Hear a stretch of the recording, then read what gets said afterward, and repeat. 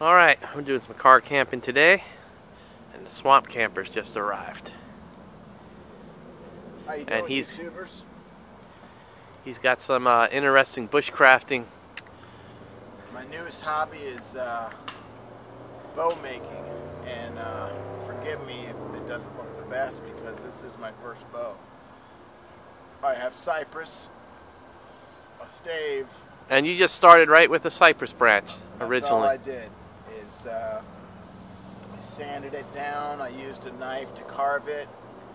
Uh, it's not perfectly straight, but it's it's straight enough. So once I got it to the desired length, I cut my notches at each end, and uh, And that's over six feet, huh? it's over That six bow, feet. wow. I'm five six. That's about it's about six feet. That's pretty cool.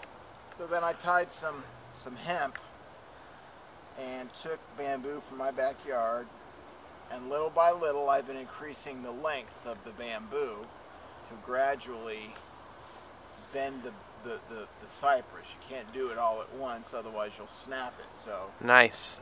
And you're going to have, I guess, some sort of leather bands where your uh, hands would go? yeah, I'm gonna cut a piece of leather, soften it, make it supple, and then I'm gonna tie it with some sinew.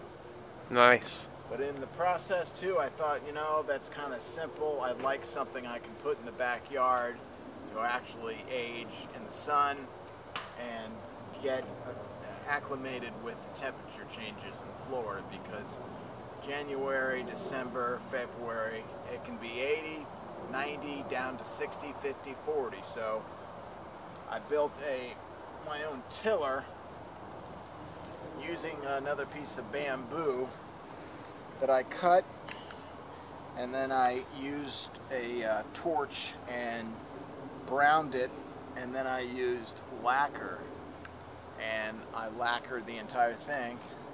Then I took some smaller pieces of bamboo, tempered them, lacquered them, and then I drilled holes.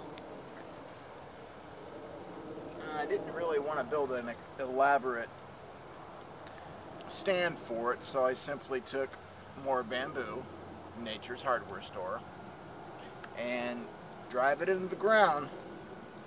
This fits inside it, Cool. right there.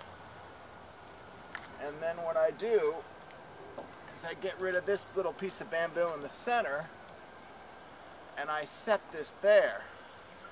And then you just start moving these down. Gradually, every five days, I will take one of these out and put this in the hole. It's in the hole. It's in the hole, my friends. And then before I do so, I use a steamer and I steam this and I make it a little more pliable, taking the fibers and making them more uh, bendable. So at the end result will probably end up someplace down here. Cool. And then, again, I'm not into hunting, I'm not into killing or anything like that, but it's uh, it's a neat hobby. It's fun. Now, you uh, based this on a Native American um, The, tribe, or? the cypress bow is uh, made up after the Calusa Indians, which inhabited the southwestern portion of Florida for almost Pre-Columbian. pre-Columbian, yeah. 2,000 years. Uh, they they they had an elaborate system of building their homes on mounds of shell. They had a, a political system, democratic. They were very warlike. So not many other tribes like the Seminoles or the uh, um, Well, they were probably gone by the time the Seminoles got there. there were skirmishes. I think the what is it? Timucua was the other tribe, Timucua and uh, Temecula. I don't know how to pronounce that one. around 1500 after the Spanish started coming in numbers, the Calusa died out because of illnesses brought by the Europeans, smallpox, colds, and many of them fled to Cuba.